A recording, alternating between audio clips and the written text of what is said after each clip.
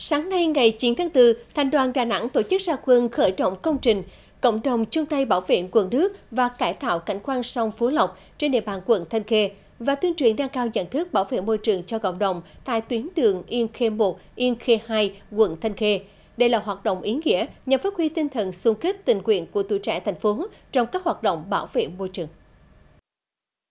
Hoạt động có sự tham gia của Thành đoàn Hội Liên hiệp Thanh niên thành phố, Sở Tài nguyên Môi trường, Chi cục Môi trường, Công ty thoát nước và xử lý nước thải, Ban quản lý chợ hải sản, Công ty Môi trường đô thị Đà Nẵng và đông đảo nhân dân, cư dân, các doanh nghiệp trên địa bàn hai phường Thanh Khê Đông, Thanh Khê Tây cùng hơn 500 đoàn viên thanh niên tại địa phương. Trong khuôn khổ chương trình, Thành đoàn phối hợp với Ủy ban Nhân dân hai phường Thanh Khê Đông và Thanh Khê Tây đã khởi động hai mô hình, gồm mô hình mỗi hộ dân đơn vị một đoạn đường và mô hình cư dân bảo vệ nguồn nước sông Phú Lộc.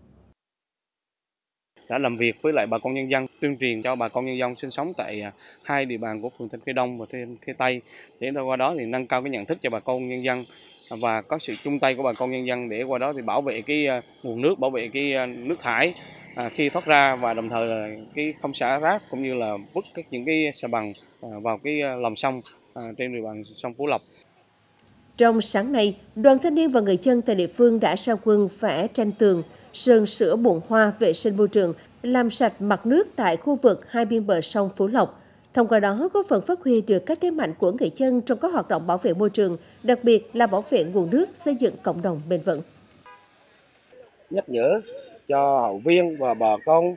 à, ngư dân và cũng giỏi như bà con trong khu phố này, mỗi người chúng ta đều phải chung tay để mình phải giữ cái, cái môi trường xanh sạch đẹp cho trong một cái bầu không khí để cho con em chúng ta ngày mai hãy hưởng được các bầu chung không khí đó. Trong năm nay, các hoạt động tình nguyện bảo vệ môi trường, đặc biệt là phong trào bảo vệ nguồn nước trên toàn thành phố sẽ được các cấp bộ đoàn tập trung đẩy mạnh, trong đó tăng cường công tác tuyên truyền về bảo vệ môi trường, triển khai các mô hình giải pháp bảo vệ nguồn nước cây xanh, tiếp tục đầu tư xây dựng mô hình mẫu về bảo vệ môi trường để nhân rộng.